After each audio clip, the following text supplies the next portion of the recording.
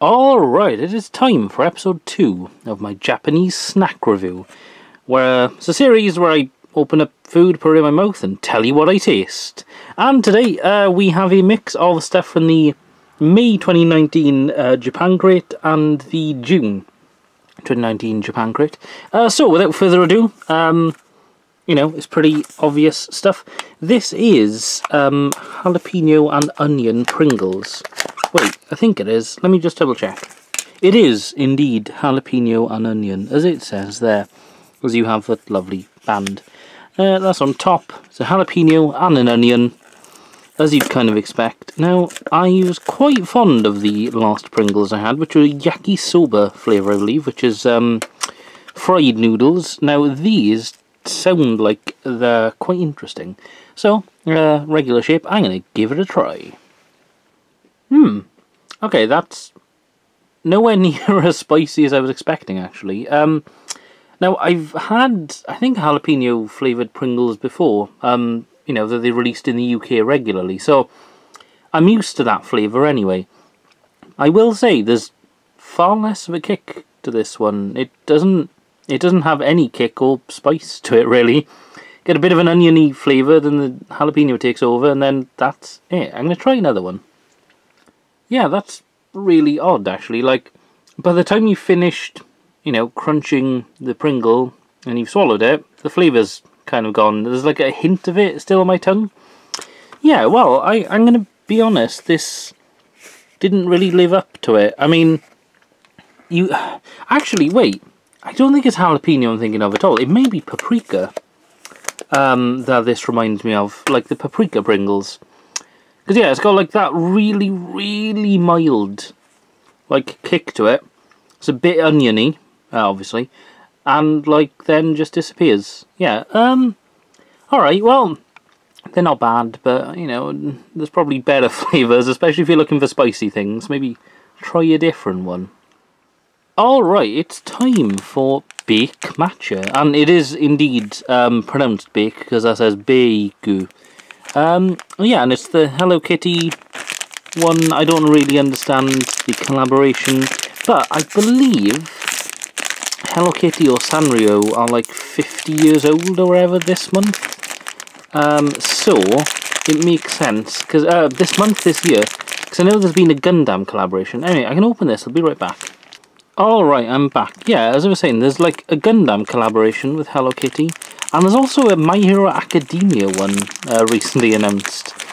Anyway, that's not why you're here. Why you're here is to see the chocolate matchery things. So yeah, they're like biscuity things, if he wants to focus. Thank you. Um, yeah, they apparently don't melt in your hands, which is nice. And it's like green chocolate or something. It's got matcha inside. It might be matcha chocolate, I don't know. Anyway, I'm going to give it a bite. Mmm. Wow, that is a...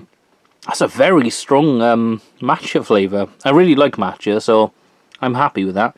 But yeah, damn, that is like... That really kicks you with the matcha flavour, especially for something so small. It's like, yeah, and the crunch is quite nice. Like, the outer shell isn't anything, really. It's really thin, biscuity stuff. But yeah, that is damn nice. Also kind of gone airy, chocolatey kind of feel to the uh, matcha inside. That's really nice. Obviously, if you're not into matcha, I think this is going to be a bit much for you. But um, as a big fan of that, that's, that's really, really nice, actually. And, like, the fact they're so small and stuff, you can have, like, one or two, and this will last you days or weeks. Yeah, that's really nice actually. Highly recommended. Next snack. Did anyone order a burger? Uh, if you did, you'd be very disappointed with this because this looks nothing like a burger. This is Burger Gummy. Uh, what company makes it? I don't know. Uh, they didn't say in the thing, and I can't really be asked to check online. So, yeah, that is the burger. That's the top bun. It's like lettuce, I guess. That is that meant to be the meat? That's meant to be the meat. That's, that's, that's as pale as the um, burger. What the hell have you been doing? And then there's obviously ketchup in the bottom bun. Uh, does this come out in one? Yes, it does. Oh, actually, it, yeah, it's stuck together. So, there you go. There is the magnificent burger. I'm not expecting a ton from this. It's quite small and stuff. But, you know, I'll give it a try. Whoa, that was a tough old bit of gummy stuff. But actually, I take back what I say. What I said. That's really, really nice, actually. You kind of get a... The bun, or, you know, the, the sort of bready kind of bits are nice and just general gummy stuff. But you can actually taste both the red and the green thing. There's like a bit of cherry kind of stuff. There's a bit of apple, maybe, or sort of... You can tell there's two different kind of fruit flavours. They are artificial stuff, obviously, by the looks of it. Um, yeah, that weren't bad, actually. That's really nice. Like, a lot nicer than I thought it would be. Um, yeah, kudos. Right, on to the next snack. Alright, it is time for the Warugaki beer candy, as you can see there. It is uh, bad kids beer, basically. Put the powder in, put water, and it looks like beer. Now, I have in front of me a nice uh, tankard CM, Captain Morgan's, I believe. Uh, and yeah, so I'm going to do that. I have a bottle I've kept in the fridge that's nice and cold, filled with uh, tap water. So I'm going to give it a go, basically. Um, I'm expecting this is just going to be like sugary stuff. I don't know. Right, let's put her in. Yeah, it looks like it just looks like sugar, actually. Let's give it a smell. Ooh. Oh, that's an, that's an interesting uh, thing. It's a bit lemony, I think. I'm expecting like Ramune-esque stuff. So I have a spoon with me here to stir. I'm going to add some water. Uh, right. Get it up there. Let's give it a nice stir. Alright, so I've I've given it a good old stir. Uh, it does look a bit like beer, to be honest. It's kind of got that frothy top forming, is quite nice. It's a bit yellowy uh, in the body. Again, quite nice. Um, yeah, not bad looking. I was kind of expecting a bit more of a frothy head, but hey, beggars can't be choosers. Anyway, let's give this a taste. Ooh, okay. wow, I I really wasn't expecting that, actually. Um, as I said, I was expecting some, like, sweet, kind of sugary thing. This just tastes like a kind of flat beer. Um, not necessarily all, you know, an amazing thing, really, because, um, yeah, it just, I don't know, if you've ever had beer, it's kind of tastes like slightly cheap flat beer. Um, there's no, there's no sweetness to it at all, actually. Um, it does have quite an authentic like head to it as well, so kudos to them there. Yeah, this ain't bad. It looks like the real thing. It tastes like the real thing, kind of, if you had to buy like a really cheap can of beer or something. Yeah, I don't know how to feel about that. That's exactly... It's actually way more authentic than I thought it would be, but equally, I can't see I can't see many kids being like, yeah, this is cool, because it's just, it doesn't taste all that great. It's kind of Flat, cheap beer. Uh, right, okay, cool. On to the next snack. Alright, the king is back, baby, and this is the king's melon bread. Um, yeah, it's melon pan biscuits, or melon bread biscuits, cookies, or whatever you want to call them. Uh, and yeah, I've had the chocolate ones before. The chocolate ones are very nice, because they're um, kind of biscuity chocolate in the middle. These, however, I'm very excited for. Um, yeah, melon pan is still. Oh wow! Oh yeah, they actually look like melon bread as well. That's really cool. Right then, let's take a bite.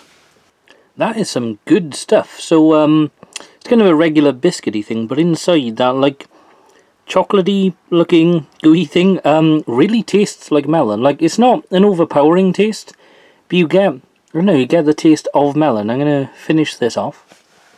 Yeah, that is pretty damn nice. I will say, um, slight criticism, the biscuit is really thick, but the stuff in the middle, which is kind of like watery chocolate, that's not a very good description, I know, um, is not, is not super strong. You get the taste of melon, but you don't get like an overwhelming taste. Um, could have been a bit stronger.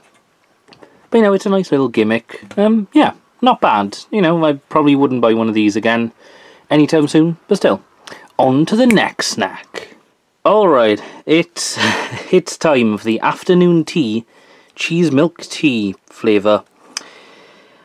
I don't know what this is going to taste like. I'll be honest, I'm a little bit afraid. Um, yeah, it meant to taste like mascarpone, which I believe is a cheese. So, now, someone, actually, I'm going to shake it quickly. Someone in the comments did say it's not too bad, but don't smell it. Um, so, I'm gonna smell it first because I I don't take advice very well. Let's let's let's have a smell. Oh, okay. Um, yeah, that's smells a lot like cheese. I'll be honest. Um, ooh, right. I'm gonna have a small amount. I think that's enough, honestly. So it's got like a. It's not. It's, no, it's kind of thick actually. Um, right. Well, bottoms up. Oh, oh, that's weird. That's oh, that's very weird. Don't. Hmm. Ooh, I, I, oh man, I don't know, I don't know what to think about that. That's this. Uh, I'm gonna try a tiny bit more. Like, so I've refrigerated this, um, which I think is like the correct way to drink it. Um, yeah, it's. So I'll try and describe it. It's like imagine milk tea, right? It's got that milk tea thing, but there's the kick of like savoury. It's a bit cheesy for like a second, and then it's not, and then it is again, and then it's not. I'm gonna try once more. Mm, yeah, okay, I'm I'm not sold on that. It's like when it hits your tongue, you get a cheese taste. Then it goes down, it's quite smooth, it's like milk tea, and it's not bad, uh, especially chilled is really nice. Then you get like the cheese aftertaste. Oh man, this is so close to being interesting. Like, milk tea would have been great, I think, honestly. I don't know why, why would you, why would you do cheese, though? Oh man, I'm so conflicted. I think I'm gonna have to bin this. I, I'm not, I mean, I'm lactose intolerant, so this is already gonna mess me up maybe, but oh, that's that's a difficult one. I do not recommend that one. That's oh, I think it's the first drink we've had from Japan Crate where I've been like, ooh, definitely never drinking that again. So yeah, that about wraps up the video. Um, I was going to do a few more snacks actually, but I realised it's been about three weeks now and we've only done like five snacks just because I've been pretty busy. I only eat like snack things on the weekends really as a treat. So I am kind of limited. Um, however, I will, I mean, I'll keep doing these snack reviews. So, you know, there's no, there's no time limit for them and stuff. If you did enjoy, that's good. If you didn't enjoy, I'm, I'm sorry. Um, yeah, there should be a Japan Crate video coming up soon, unless I've already published it before this one. But either way, until next time, goodbye.